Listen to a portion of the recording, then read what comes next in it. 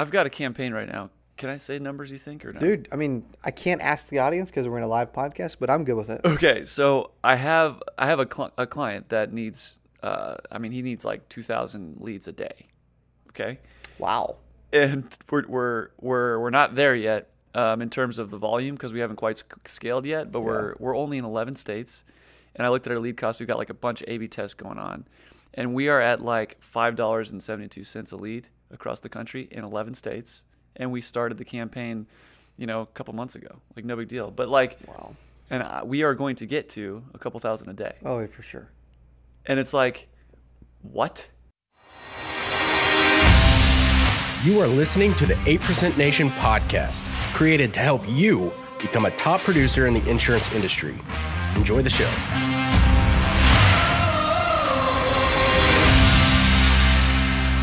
So today, what I want to break down is I've been getting into some really great conversations with agents across the country. I want to talk about how now is the time to strike in the insurance business, all and specifically go into recruiting. Okay, Okay. so yeah, yeah. There's a lot of um, people that want to grow their teams. So well, yeah. So there, you know, why don't you? So we just got back from Vegas. Okay. Um, there was a lot going on in Vegas. We shot a couple podcasts. It was a lot of fun. We scoped out 20, 20 uh, locations for 8% Nation, which may have some reveals coming soon. Yep. Um, but there was a couple insurance conferences during the time we were there, and there was thousands and thousands of agents at these insurance conferences. Yep. And, you know, there's just something going on in the insurance world right now that I believe uh, recruiting is becoming a really hot button. Yep. So, why do you think recruiting is such a hot button right now, Cody? For whatever reason, recruiting is. I think people feel like recruiting is like their way to earn their way to a like a being a seven figure earner eventually. You know, and it's not that I disagree with that, because I agree with it, but at the same time, I do think, you know, full transparency, early disclaimer, most agents focus on recruiting people before they know how to spell the word insurance. And, and I think it's easier, I know it's easier when you have some social proof, when you can lead by example, when you Yep. can, hey, look at my commission check where I just made, uh, oh, $11,200 last week. Want to join my team? Like that's easier than, well, hey, you should join my team. Well, how much did you make? I, I didn't make any sales. I recruit, right? Which I want you to sell so I can make more money. Yeah, Then yeah, I'll show you yeah, my commission yeah. check. So like I want people. Yes, it's it's a huge opportunity. We are helping a lot of people with with our marketing for recruiting, but I want them to like, okay, freaking do something first. Yeah. That, that- that's like, don't listen to me.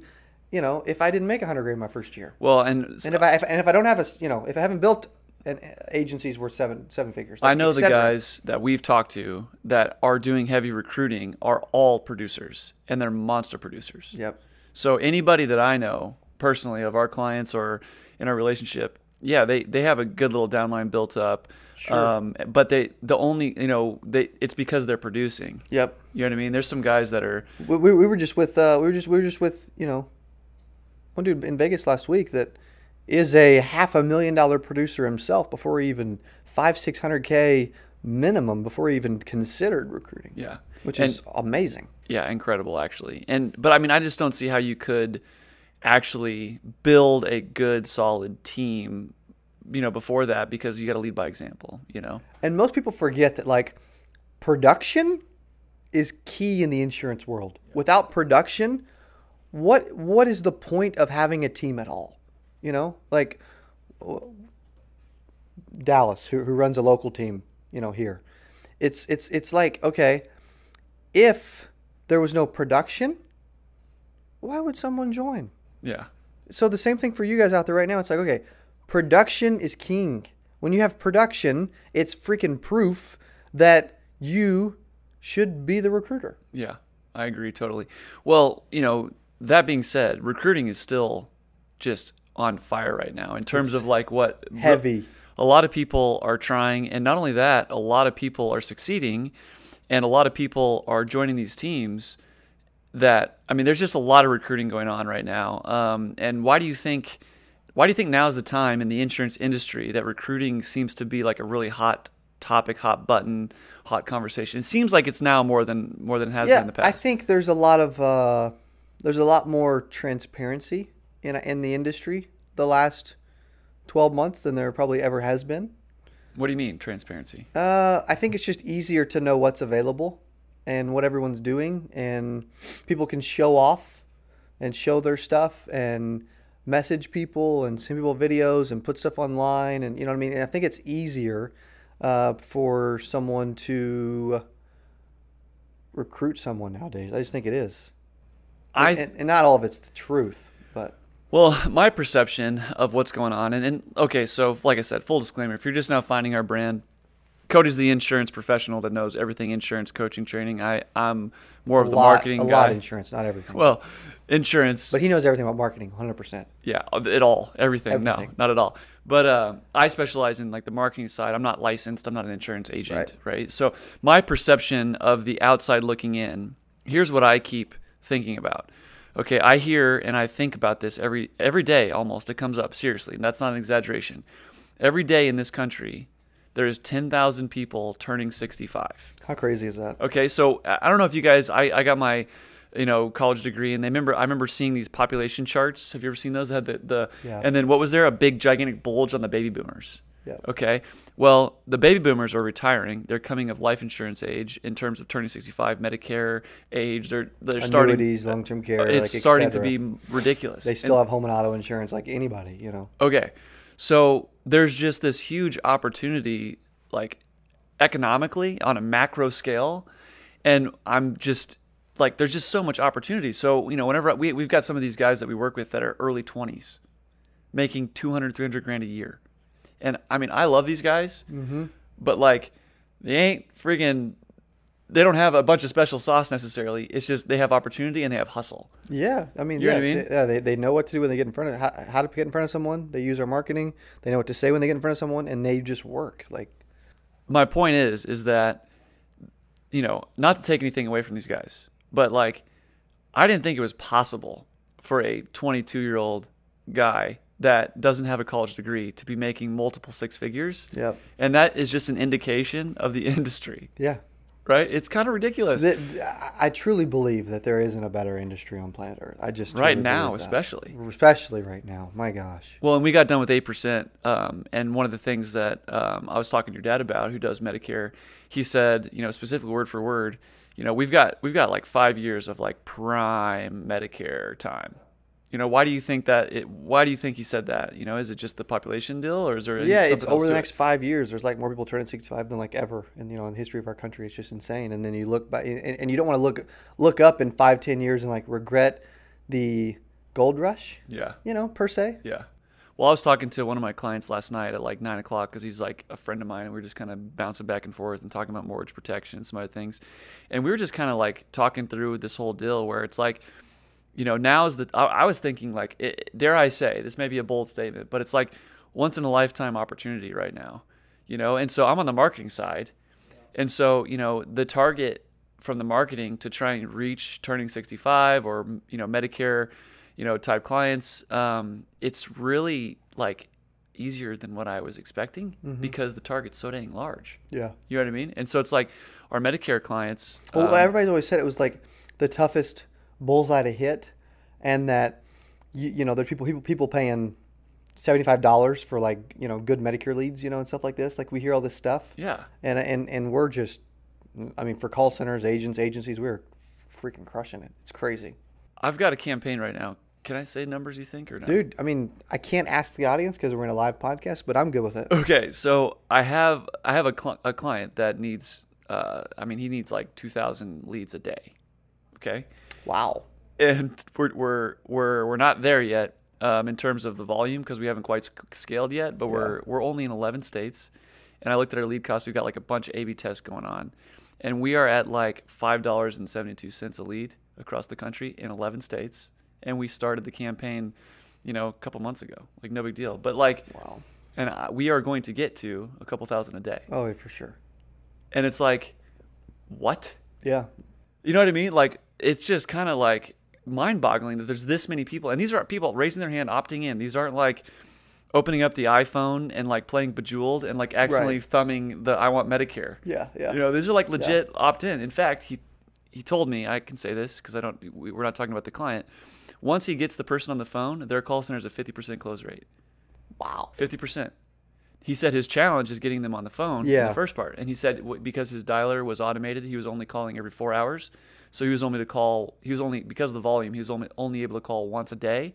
So what he did is, is he said, okay, I'm gonna adjust my dialer instead of driving these leads straight into my uh, openers. I'm gonna drive them to the marketing people to qualify, and then I'm gonna have them call three times a day, one email, one text. The next day, three times a day, one email, one text. Because if we can get them on the phone, we're at a 50% close rate. Wow. What do you think about that? Dude, I mean, he's he's he's using the touch system too. You know, it's like he, he he- and he's he's realizing it. Okay, where's the like you always talk about in the marketing funnel? There's like bottlenecks. Okay, Yep. there's where's it where's it lacking? Right. Yep. For him, it's okay. I have the leads. I have the close. I need people on the phone. Yep. Right. So he sees where the opportunity is, and he's adjusting because he's paying attention to numbers and he gets it. Most people don't. Most people. A lot of people don't know that stuff, and then they just give up. Yeah. Because they're like, ah, it's just broke. It just sucks. Well, this is one of the largest call centers in the nation, so they, For- they for a reason. They ain't giving up. For the reason. But I was impressed. I mean, and once again, this guy, I mean, full disclosure, like this guy is like mid twenties. Okay. And I'm late twenties now, so Uh, when, I'm when we have these freaking podcasts, you make me feel old I know. every time. You old? I'm 35. Dylan, do you feel old yet? Yeah, he No, says no, no, no, but he feels good. old too. My point is, is that this dude is running a mega million, like multi multi million dollar Medicare call center, closing over the phone completely in 11 states right now, and he is the one. It wouldn't surprise me if they're doing.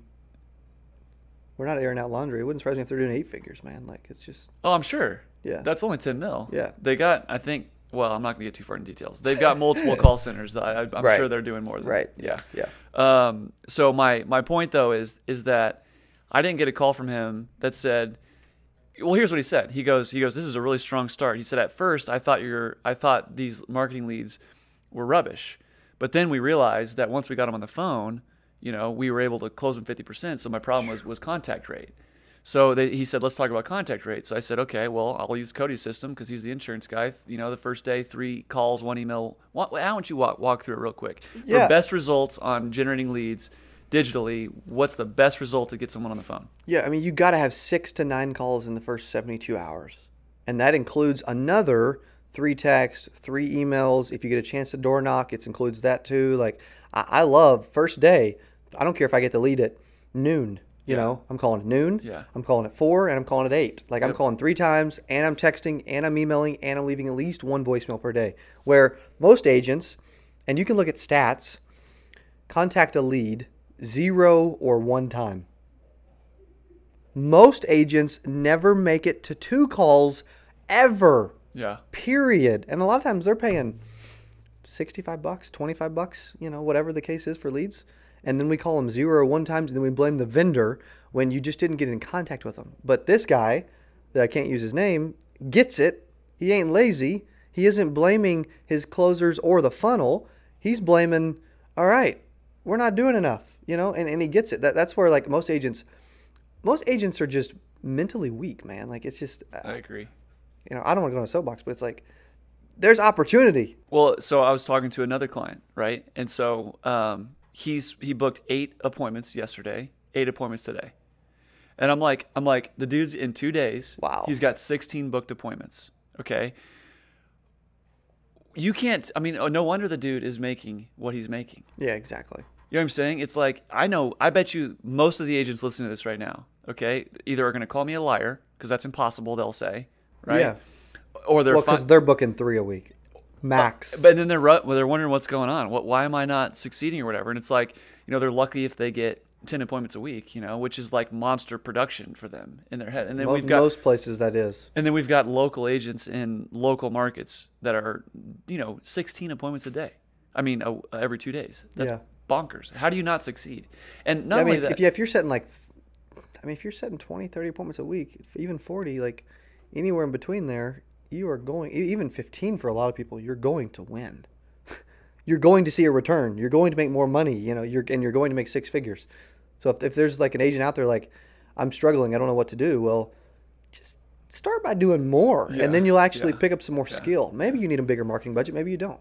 Maybe you're just not calling leads enough. You know, I don't know, but And one, one of the other things that was interesting with with this particular, and this is a little rabbit hole that I'm getting lost in, buddy. dude, it's But- good, man. But it's interesting to me how his mindset. I mean, of course, this guy makes multiple six figures a year as an individual producer, no team. Yep. Okay. Um, he told me that of his eight appointments yesterday, he he got stood up by seven, Woo. and he was all smiles. All smiles. And he's like, "Hey, man, I just know as an insurance agent, I'm gonna have these days, and I'm gonna come back." That's a really and- bad. That's a really bad day. No, well, he even said, he said, "This is a horrible day." yeah, it's like it's like a. That's insane. He said horrible day, but it's like I'm that much closer to a good day, and it is what it is. I'm gonna reschedule him. He even said one of the eight appointments was a referral. And he may sit with seven tomorrow. My point is, is is that, you know, some people were like, "Oh, I worked so hard to get the, and I paid for the lead," and blah, blah, blah. And then they blame the vendor that the person stood them up. yeah, The vendor has no control over whether they stick. yeah, Like the marketing has, you know what I mean, has has, has no. And, and I'm sure we're gonna, you know, come back to recruiting again too. But we've added a lot of people interested in recruiting on a marketing budget. yeah, It's been insanity. yeah. Well, there's just there's just a lot of opportunity, and I think what's happening is, is I think people are starting to like hear the rumbles, and and maybe you can shed some light on this. What I also feel like is happening on the recruiting side. I'm starting to notice large companies, State Farms, all states, some of these guys are allowing their agents to go independent also in some capacity. Is that a right statement? Or maybe not State Farm or Allstate, but maybe some brands how that used There's some brands captive. where you can like sell through like a brokerage house that they do business with that they have access to, you know, or something. But it just seems like there's they're loo- the captive agencies are loosening up a little bit and there's kind of like a shift. At least i've had this conversation. Maybe i'm wrong. I'm not the insurance guy. Disclaimer sure. right? But it, it seems like at the same time there's all this opportunity. It seems like there's also a lot of you know carriers or or organizations at the top that are allowing their agents to kind of be more independent. Therefore they can put contracts with you and you and you and you and or whatever that looks like is that a true statement or am i just like taking two conversations i've had in the last couple weeks and like Yeah, it varies. It could, it could be. statement. Yeah, I mean, it could be with certain people. Um, because the big thing is, there's like there's a lot of opportunity out there, and a, and and most people are get trapped in those games where they've got you know contracts with 42 different people. Okay. You know, I'm I'm a I'm like of the different mindset. Let's just like keep it super simple. okay If you sell life, let's sell for a couple carriers. Okay. If you sell Medicare, you know, let's find a few key carriers in your market that makes sense. You don't need access to 68 people to sell, you know, because 64 of them are never going to get a policy and they're going to term you for lack of production in six months. You know, it's just like, and then you wasted your time, the contracting time, your upline's time, the company, the carrier's time. It's like, let's just, most people, that's, that's where also too. So I, I always I always kind of say that agents um, a lot of times get too far in the weeds or they're like you know wait they're procrastinating. They can also waste a ton of time by saying, okay, I need uh, 72 different carriers. I need to learn about all of them. I'm going to read everybody's brochure. I'm going to watch everybody's video. I'm going to go to everybody's site and I'm going to be expert about everything. And before you know it, oh, by the way, production is still king. And three three weeks later, guess what? You're still sitting at zero. Okay. Well, let me ask you a question then. So let's just say um, we've got a newer agent that's licensed that's maybe struggling a little bit. Okay. Um, and you just recruited this person. Potentially they're on your team. Okay. How many hours a week would you suggest they learn? And how many hours a week would you suggest they produce in an ideal world? Should they just produce nine to five and then learn in the evenings, or what? I mean, you need to spend at least an hour a day towards learning. Okay. E- even if that's sales training, you know, audiobooks, books, Okay. video, videos. May see, it's. I'm I'm backwards. I, I, and I'm gonna get some flack for this, but whatever. It's it's not. It won't be the first time. Uh, I'm not worried about product knowledge or carrier knowledge because you know there's two there's two activities as a salesperson that pay you money. Yeah. There's two prospecting and actually selling. As in, I'm looking, I'm, I'm, I'm looking for someone to get in front of, or I'm sitting there in front of them, closing them. Other than that, you make zero dollars from anything else that you would ever want to do. But most people want to know everything about every carrier, and I, I, I, I can't. Like for instance, this is funny. I, I had a, I actually had a, ins- a, a massive life insurance carrier that watched one of my YouTube videos and reached out to me about a year or so ago. Okay, maybe 18 months ago now, and they said uh, I, I I talked about how price doesn't matter on a video, and they didn't like that because they're like price is important, you know, and they took they really took it out of context though. What I meant by it is that most agents are so worried about you know always selling the lowest price and knowing 42 carriers and you know shopping every single time and all this other stuff. The, to be successful, you got to keep it simple and you got to sell on the relationship and the value and forget about the price man just just focus on the relationship and the value and you know do what's best for people and you know good will come Yeah. instead of getting in the weeds too far Yeah. Well, how do you how do you stay disciplined? Because can't you sometimes I've heard this business can be death by a thousand paper cuts, right? You've got questions, you've got underwriting questions, you got phone calls that are coming in, you got customer service. You know, how do you how do you actually spend all of your time either prospecting or getting in front of people? you got to either get organized and and and, and ration out your time or you got to ra- like Remiss said, or you got to ration out some responsibilities and start to build a team, or add an admin person, or an appointment setter, you know, or whatever. Hey, you turn in my applications, you check my emails, you filled some calls, um, and you set appointments, you know. And what I do is, I and you manage my calendar, and I show up and I sell, right? So I always had like, I always had help from a, from callers, appointment setters, admin. Um, even when I was 21 years old, with with you know, I had I always had at least one or two people working for me. Like I just always saw the ability to like build out some staff. Yeah. Because I learned when I'm in front of people, I make money. When I'm sitting there trying to learn about a product or a carrier, I fall asleep. and, and and if we've got a lot of agents that come to our trainings and watch our stuff and everything else that like they look for reasons not to sell even in my own office right now there's people that look for reasons not to sell so they'll like fold boxes you know or they'll turn in applications or they'll read brochures or call carriers they look for reasons not to do what makes them money It's weird. and guess what They don't make money. they don't make money You know, we were on the podcast. Uh, was it dropping bombs? It was With yeah, with Bradley? Yeah yeah yeah So he dropped a bomb that I actually like, like, love, and I may take it with me for the rest of my life. I'm not, I'm not kidding, and I want to kind of break it out. It, it is uh, relevant to what you just said. He said most people feel like, well, their first excuse is there's so many hours in the day, right? I have 24 hours just like you do, right? So I ran out of time, right? But he said, no, you don't. You have unlimited hours right? And I remember we were, I was kind of like, well, okay, what do you mean by that exactly? And he's like, dude, I can pay somebody for their eight hours a day. I can pay this guy for their eight hours a day. I can have an opener. I can have, you know, customer service, and I, you have unlimited hours to leverage. I'm sick of that Yeah. excuse. And that really kind of opened my opened that's my the eyes. number one excuse Well, I don't have enough time. I got to learn. I don't know. I got just like questions. I just ran out of time today. what you're doing is you're like laying down and just telling someone to run you over because it's like you have given the you just given up man it's it's it's frustrating to hear too But it's an interesting thought that you actually don't have 24 hours in a day because you can leverage other people's time and add 24 hours to your day because you got three people working eight hours.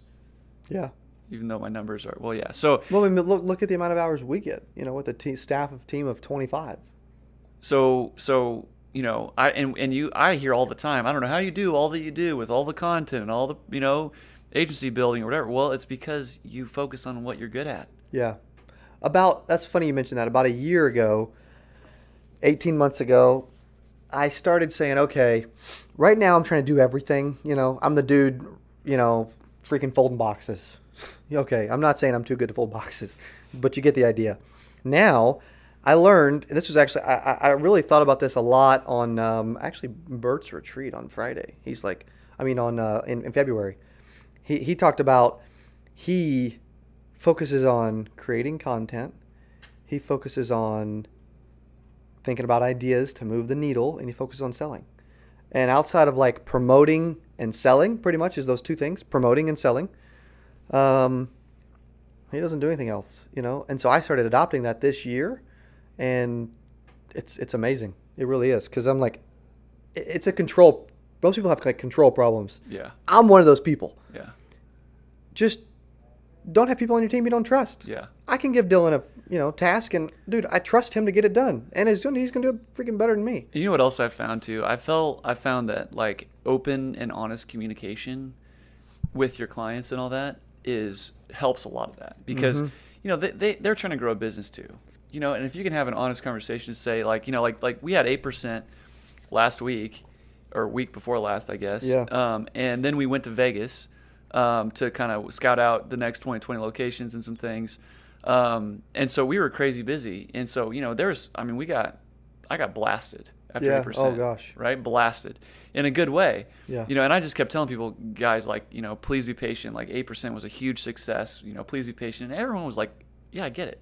You guys threw a huge conference. It was awesome. But if i would have just like clammed up and like delegated and tried to get my staff to answer those questions and i kind of like clammed up i feel like my clients would have potentially been like you're what, what's what's going on like we Yeah. used to talk a bunch and now we're not you know so i just feel like communicating helps that quite a bit Oh, a ton. And that's one of the one of the things you do really well is like communication, you know, reaching out, being proactive, texting, emailing, and calling, like Yeah. you know, not waiting for someone to uh, reach out to you a month later.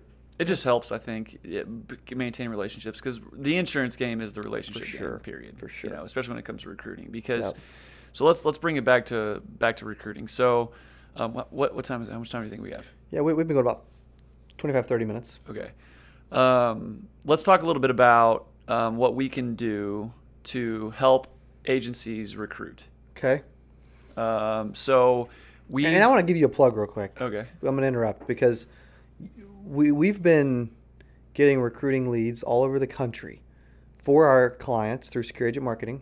So we're the extension of their team. We're not a vendor, you know. We're, we're an extension of their team, a partner, to where they're able to build out. We're able to build out custom campaigns for them and drive recruiting leads to them. And a lot of times, 100 to 200 recruiting interest a month, which is a lot for not even a big budget, you know, like a 1500 bucks Yep. and it's ridiculous how well it's going over. So if you're sitting out there and you're thinking, okay, um, I'm struggling with that, and I know it's a big part of my business, and I need more of it, delegate it. Let Landon and our team funnel you the freak out of people interested in working with you. Well, wha- I mean, we saw a conference with 8,000 recruit, freshly recruited agents. We in- did. in one place. yeah. What? Like, Yeah. there's something going on. Yep. Okay, and and also I'll tell you, we're able to get these recruiting leads cheaper than I ever dreamed or thought. Yeah. Okay, so it's been an interesting little run where I feel like there's a little honey hole we found Mm-hmm. where if you are interested in building a team, if you just allocate fifteen hundred dollars a month of budget, Yep. you will get. I mean, how many leads do you think they'll get for that fifteen hundred, Cody? I know the answer. I mean, it's but 100 to 200. Yeah, and It these really are people is. that are raising their hand on custom And that's, con- particular that's, cons- campaigns. that's a conservative answer, by the way. I agree. And so, you know, like for instance, like there's interesting things like expansion counties um, that there's particular carriers that have advantages in particular counties. Well, those carriers are going to get you that list of competitive areas. Well, we can target those specific areas across the country. We can build out campaigns that way. There's lots of ways we can do this. The main thing is, is that you're able to target individuals that are looking for a career change or licensed. I mean, there's just Yeah. a million ways to go after this, and it's really I'm having a lot of fun because I believe that my clients truly have a good opportunity for their people they're recruiting, and I'm helping them connect with those individuals, which is a lot of fun. Which is why I got into this business in the first place. That's what most people that are most people that are focused on recruiting and growing their organization struggle with that the most. yeah, just recruiting. Yeah. Um, It's a tough it's a tough nut to crack. It we're is. cracking it for them. Well, and and you know, all we can do from a marketing perspective is get people to raise their hand, and then you know, it's it's interesting. It's just like final expense or Medicare leads or anything else. You know, some people are like, man, I just really wish I had more licensed people and wham wham wham, like, you know, or then there's like. Man, I got like 150 people. I've already hired six people. I know two are going to turn over. That's okay. It's a numbers game. If their production is this, and I'm going to make this, and you know, I mean, like it's like they're just focused on the end goal. Um, Some some make excuses, some get results. and then let the guys that aren't going to make excuses scoop up this market share. Yeah. Is really what's going to come down to. All right, so maybe we can end on one little thing. I'd like for you to break down and you you are the numbers man. I've seen you get a whiteboard out um, and walk people through this a hundred thousand times, but I've never seen it on recruiting. Okay, So let's do it. On the I would- spot, no board. what I would like to do is I'd like for you to break down the the pure numbers from a I want to get a team of 10 under me. What type of agent? Uh, let's call it let's call it life insurance. Let's, you want to do final expense or Medicare or Whatever. let's just do Medicare. Okay, let's just do Medicare. Okay, That's so fine. walk me through the numbers. If I'm uh, an individual that's trying to grow a team of ten, walk me through those numbers. Yes. Okay. So, so for instance, um, if you're wanting to grow to a team of ten, right? So that's what you're Mm-hmm. That's the goal. Okay, that's the goal. So, out of that fifteen hundred, we allocate a thousand towards ad spend, five hundred towards management fee. Okay. Okay. So out of a thousand bucks, we're going to get you hundred to two hundred people interested. Now, if it's a if it's a if it's like a generic, you know, insurance campaign, then then we'll hit those numbers pretty easy. If it's you know sometimes it's tougher. Okay. You know what I mean? Sometimes it's more specific. Now break down the numbers of if I get a team of ten, if I'm able to hit that goal. Yeah. What do the numbers look like for my in on average? Let's just- on my general sort of profit slash production slash you know, help me understand those numbers. Let's just say that um, whether it whether it takes one or two months, let's just say that we give you 200 people to talk to. Okay. Let's just say you sign on only five percent of them, okay, so 10. okay, Okay. So so out of 10, um, if you can get them, and let's just say that we'll just fast forward several months down the road, and you've got like 10 producing. Okay. So if you've got 10 producing, then out of those, you're going to be getting a piece of what they sell. Okay. So so you're going to get to where let's just say they're all selling you know, you can eventually get them to where they're all selling, you know, 20 policies a month. You know, we hear a lot bigger numbers. We hear smaller numbers. Okay, so we'll use that as an example. Then you've got two at 10 people, you've got 200 pieces of business every month that you're getting a piece of. You know, let's just say every time they sell something, you average about 100 bucks. You know, just a random example. Okay, because they could cross sell, they could add, you know, upsell, whatever. You're looking at 10 grand, right? Tw- no, 20 grand because we're looking at 200 policies, Yeah. right? So you're looking at Yeah. really, really, really looking at 20 grand. So, so, so 20 grand eventually every month that can stack as you grow your team. But you gotta have you gotta get to where you have 10 producers. But let's just say you have to sign on 100 to get 10 producers. ten monster producers or 10 not monster, monster, producers. but good yeah, producers. Yeah. Which is which is which is so let's just say it takes a thousand people to get to where you have you sign on a hundred and then you have 10 that produce. Okay. It may only take us five months to actually hit that target and get you a thousand interested people. And I'm breaking this down better and, and, and deeper than I expected. At that point, you've been with us for five months. You spent 7,500 bucks. We put 5,000 toward the ad spend, and five six months later, you've got 20 grand coming in every month because of an investment that you spent over the last five or six months of way less, about 5% of the actual total revenue that you're going to be bringing in from this campaign. And so that's where the numbers can really get juicy and nice. Yeah. But you got to be willing to invest in your brand and market yourself. It seems interesting. You make it seem easier, but it really actually those numbers I feel like are like legit. Like they're They're, not. they're aggressive. conservative Yeah. numbers. They really are. And when we sat down and you know, we have obviously clients that are doing this now, um, you know, we, we sat down and kind of like was like they were in charge of what they wanted their cost per acquisition to be, and we just kind of backed into that number. That's how we created this whole thing, any, anyways. Yep.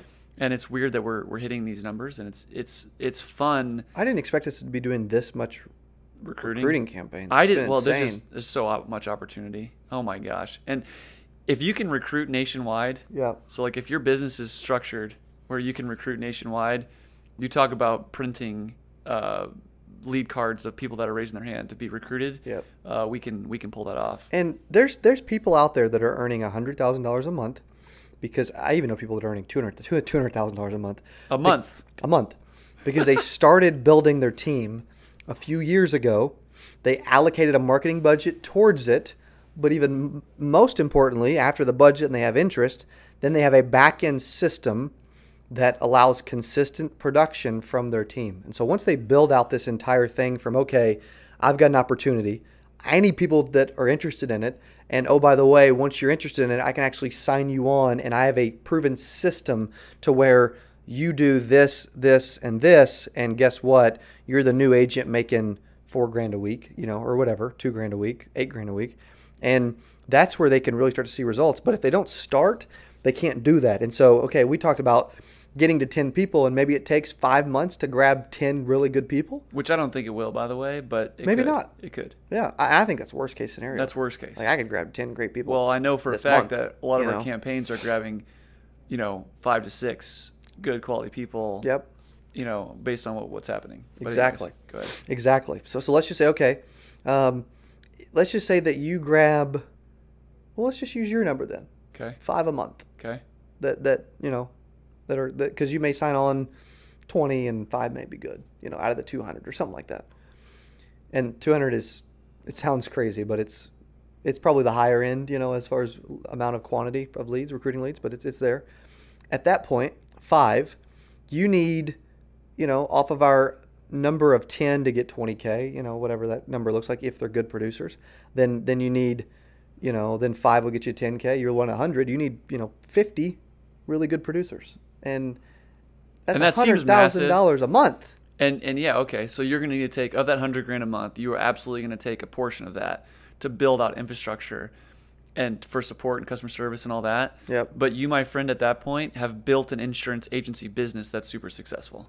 a powerhouse that seems massive that's really not It's really not like I watched. i mean I mean, I mean people every day making that kind of money in this business It's crazy. yeah Like and if okay, so if you've stumbled onto our content and you're like 19, 20, okay, and you're starting to try and we're think, 89 just Yeah, if you're trying to think about what you're gonna do, I could put you personally in touch with some 22 year old kids. I say kids because I'm 35 that are making multiple six figures right now. uncle landon And I, it, it's just now's the time to start. The first thing you got to do is, is do production, right? You got to get yourself to be a producer before you can recruit, in, in our opinion, right? Or else it I ends agree, up being man. like a, hey, go make me money. yeah Like that's weird, and it's not probably gonna. people people are attracted to people that are doing big things Well, it's just unsustainable. It's really just re- it's not realistic for you to think that you can not be a big producer and then tell Yep. people to produce for you. It's like almost weird. I had three people yesterday that would like to join our office in some way because they're attracted by what we're doing. So that's a perfect example of you need to have an attractive organization. But you said, you mean what? What's your? Did you like work with them? Maybe. Okay. No, I mean, the one's interested in sales team, one's interested in marketing, one's interested in, you know, operations. It's just like what one's a buddy, you know. It's just Yeah. like it's just Yeah. people reaching out all the time that are like, oh my gosh, you guys are doing some crazy stuff. I want to hang out and go meet Ray Lewis, you know, and Michael Irvin, and you know, hang out with 2,000 insurance agents and Yeah. be a part of this sort of startup that I put air quotations on of overnight success that I've been doing it for three and a half years. Yeah. You you know you'll get or, you'll get organic people that'll follow you. Um, but it's not really controllable and sustainable for you to kind of like work your warm market on your recruiting leads. That doesn't. No, no, no. But what I mean by that is it, it's attractive, as in when you have people that are looking to join, even from a recruiting lead, they will they may add you and follow you. They may not join immediately, but they may join down the road. And guess what? I want to be a part of that. That's a good point. In fact, several of our recruiting clients actually are have a, a branding component as well. And our plan is a six month deal. So yeah, a KPI, a key performance indicator for the campaign is going to be lead flow, but there's also drip marketing that's going to go on after that. if anyone is just looking at the immediate return from recruiting campaign, they're missing out on the other pieces of the puzzle yeah. that are big. it's it's interesting. Well, do you have any final thoughts on you know this podcast, this content, this? Yeah, we got a call in like eight minutes. But the big thing I would say is, uh, I mean, hopefully this will get somebody thinking bigger about the opportunity, whether it be you know sales related or recruiting related. We can help with recruiting. You know, great. S- Send Landon an email, Landon at secureagentmarketing.com. I think most people forget that there's a ton of opportunity in this business, and most people, it's easy to think small. It's not so easy to think a little bigger. And I want people to get out. That's what I want them to leave with. Like most of when we do shows and live videos and videos and Success Society coaching calls and stuff, people leave challenged. I like that word better than motivated. They will leave motivated, challenged, and they just start thinking a little bigger. And I think that's what it takes. I agree. Well, um, so if you guys, you know, we're we're uh, I'm loving this podcast format. Yeah, it's fun. So if you guys uh, watching this, if you want to leave a comment on the the uh, YouTube uh, channel that is maybe a, a podcast topic or maybe an area you want us to talk about, we would love to kind of get into that because one of the things I'm liking about this format is, and and also I'm noticing on the other podcasts that I'm listening to and also, you know, guest hosting, it's really an organic, longer form conversation. Listening to your car, and it kind of really lets you see inside the brain of who's who's on there. And I I get a lot of people trying to get as much time with this guy as possible. In fact, paying hundreds of dollars to be a part of the Success Society, to have access, to be able to Facebook group message and say, hey, what do you think about this? And have him personally respond. So if you're liking this type of conversation and content, just look into Cody's Success Society. That's a pretty cool way to get, get direct access. Um, but you know, we're, we're looking to just kind of have a conversation together and just kind of unpack because you know this today I have five client and prospecting meetings. Tomorrow I've got seven um, client or prospecting meetings, and there's it's amazing how much we learn along the way just talking to these producers because these guys are not small guys. No. you know, and some of them are just now starting. But my point is, is that you know, how many people are you talking to in the next two days? 15 A lot. awesome producers or, or whatever. Yeah, so it's like, it's least. just fun to like learn from them. And then what this podcast is meant to do is kind of just talk about it without naming names or whatever. And then maybe Yeah, we'll it's not scripted. You know, like a lot of this is just let's let, there's a topic we want to break down. We want to share something, and a lot of it's just off off the dome. It just fun. is. Well, thanks for joining us today. Um, man, go out and kill it. Be part of the 8%, not the 92. Have a good afternoon. Thank you so much for watching 8% Nation podcast. I got a couple quick videos for you 2020 Medicare updates with Mr. Tony Merwin and how to start an insurance call center. Click on one of those podcasts, check them out, and I'll see you there. Leads is the number one question that always comes up. How do I get in front of people? Yep. Hey, I can write insurance. Writing insurance is the easy part. Yeah. You can teach a monkey how to write out a contract or fill out an online app.